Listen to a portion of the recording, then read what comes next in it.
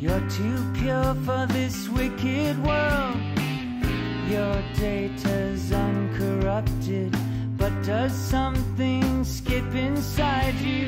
That's what takes up time in your life. Add the sum of the slides, and sooner or later, love cuts inside you, gets behind you, takes you under its wing. Is it some kind of function, that we can't direction where you